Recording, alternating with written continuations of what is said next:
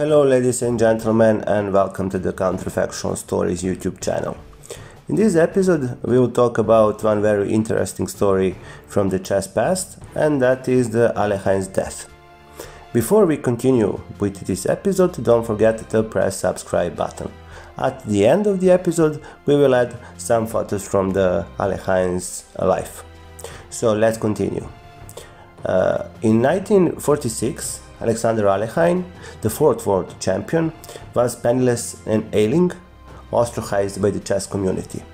Then, on March 23, the British Chess Federation informed him that preparation for a title match against Botvinnik were completed. The next day, Alekhine was found lifeless in his hotel room. There are still questions about his death.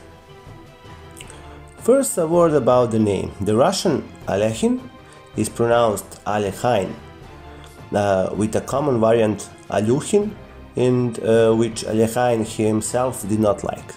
In English, the name is usually spelled Alekhine and pronounced in the same way. Alexander Alexandrovich Alekhine was born on November 1st, uh, uh, back in 1892, uh, to a wealthy family in Moscow, Russia. His first notable uh, chess accomplishment was winning the All Russian Amateur Tournament in St. Petersburg in 1909 at the age of 17 with a score of 12 wins, 2 losses and 2 draws. In 1914, after finishing third behind Lasker and Capablanca in St. Petersburg, Alekhine uh, was named one of the five original grandmasters by Tsar Nicholas II. In 1921, he left Soviet Russia and moved to France, becoming a French citizen in 1925. He studied law at the Sorbonne, where he gained the title of doctor. Chess career is too long and spectacular to summarize here. In 1927, he won the World Championship from Capablanca, whom he somewhat controversially avoided playing again, instead defeated, defeating compatriot Efim Bogolyubov twice and then losing the title to the Dutch mathematician Max Euwe in 1935. Alekhine won it back two years later by a large margin and returned it until his death in 1946. In the years before his death, Alekhine lived in Spain and Portugal, playing tournaments in Nazi Germany or German occupied uh, countries. He is also given as the author of a number of articles directed against Jewish chess players, which appeared in the Nazi press. After the war, he denied being the author of those articles. During these years, the uh, early 40s, Alekhine was suffering from cirrhosis of the liver, uh, duodenitis, and sclerosis of the arteries. He had no proper income and lived from a pittance earned with chess. He was also severely depressed.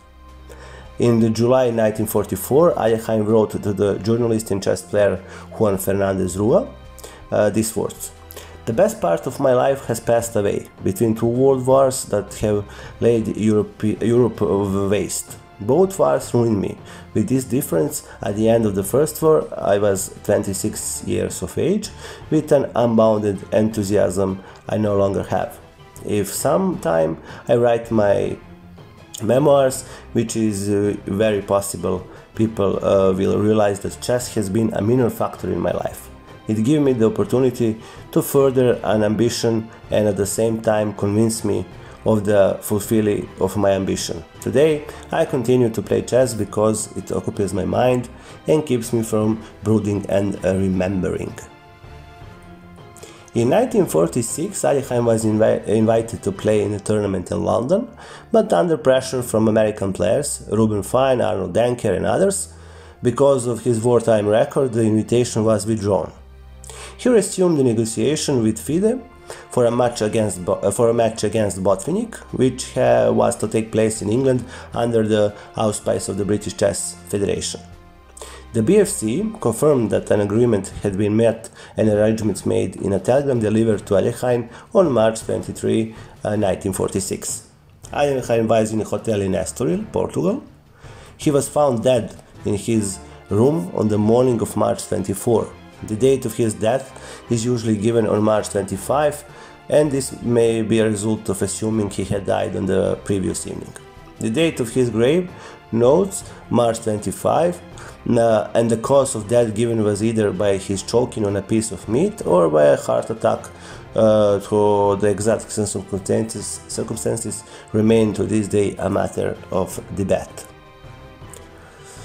Associated Press reported at the time that Alekhine's body had been found by a waiter when he brought in breakfast. The waiter said that Ali Khan was slumped at the table and that the supper served on the previous day had not been touched, although uh, his napkin was already tucked in. This is not what the picture depicts and has led to the conspiracy theories that have uh, since then flourished. The main ones believes that Alekhine either killed himself or was murdered. In his 1975 book Alexander Alekhine, Soviet Grandmaster Alexander Kotov describes the circumstances of Ali death as follows hopelessly ill, abandoned by all, and rejected by people together with whom he had trodden a great path and who now did not even wish to see him and question him personally, Khan was slowly dying in a small room of the hotel park, half closed for the winter in Estoril. He had no prospects, no means, and no friends to support him.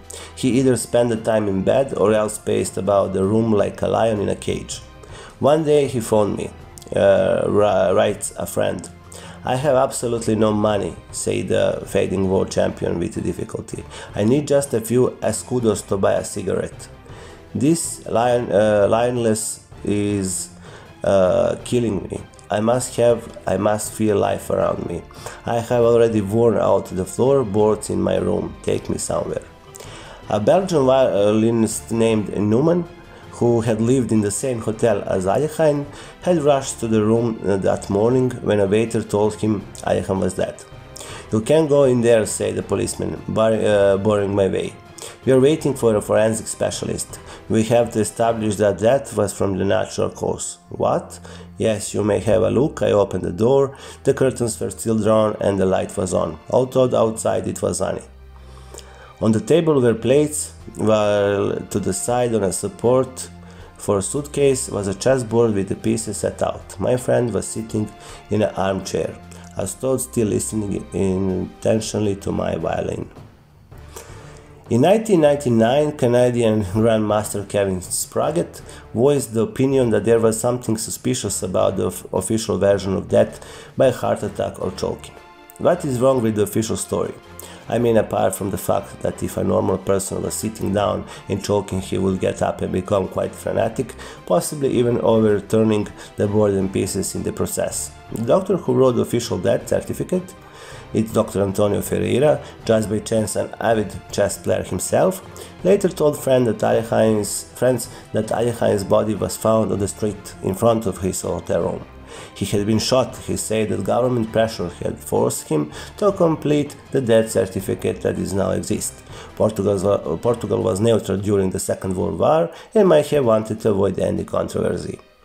According to well-placed sources, including Spassky, who is married to a French woman who worked in the diplomatic service, the French resistance created a super-secret death squad after the Second World War to deal appropriately with those people on a blacklist who had collaborated to willingly uh, with uh, German Nazis.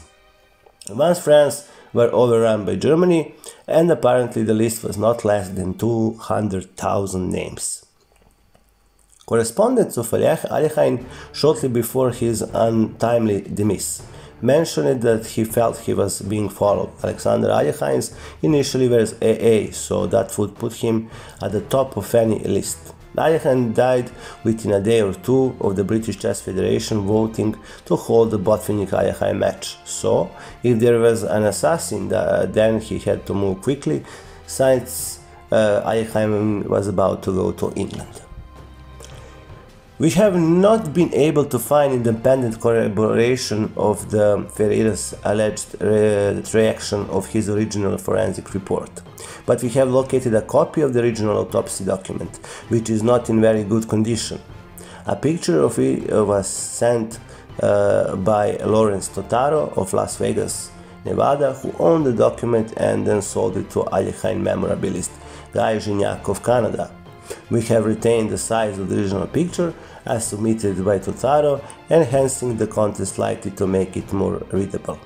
And this document I will uh, present to you in this video at the end. Uh, the following text fragments are discernibly in the above pictures of the report, so I will now uh, read to you. Hotel Hafnia, Copenhagen 5, September 8, 1967.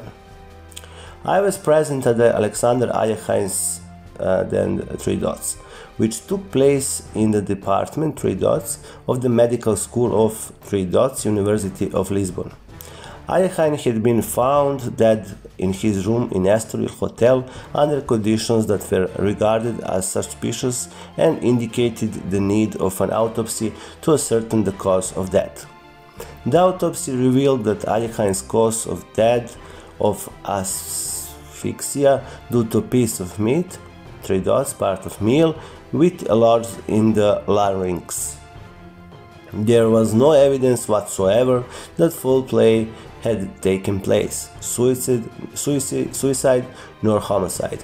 There were other diseases to which his sudden, unexpected death could be attributed. Signed, Antonio J. Ferreira, M.D. The report is reconstructed in full in Pablo Moran book, Agony of a Chess Genius. I was present at Alexander Alekhine's autopsy, which took place in the Department of Legal Medicine of the Medical School of the University of Lisbon. Alekhine had been found dead in his room in an Estoril hotel under conditions that were regarded as suspicious and indicated the need autopsy of certain the cause of death. Uh, this is actually the piece from the book that I that is uh, referred to the previous uh, document. After his death, Alekhine's body remained unburied in Estoril for a period of three weeks. Then the Portuguese Chess Federation had him interred in humble sepulchre in the Estoril uh, cemetery. Only a few chess friends were present. His remains were forgotten until 1956, the 10th anniversary of his death, when FIDE, together with the Russian and French Chess Federation, transferred them to Cimetière du Montparnasse, Paris, they placed a red granite monument with his image in Carrara marble at the head of his tomb. The inscription on the grave says this monument was erected on March 25, 1956 by FIDE International Chess Federation Folke Rogard, President, uh, President Sweden, Vyacheslav Ragozin, Vice President Russia, Marcel Berman, Vice President France, Mikhail Botvinnik, World Champion USSR, Giancarlo Dal Verme, Italia, and Pierre Dirmans, Belgium. The text on the tombstone give, uh, gives March 25, 1946 as the day of his death, not March 24.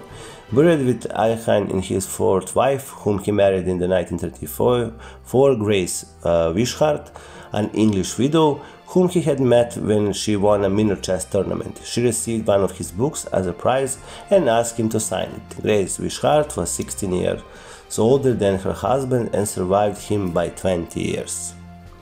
On December 26, 1999, there was a hurricane in Paris which did considerable damage to the city. Alekhine's grave in Montparnasse Cemetery, where Lev Polugaevsky is also buried. The headstone monument was blown over, uh, shattered, and fell on the main gravestone.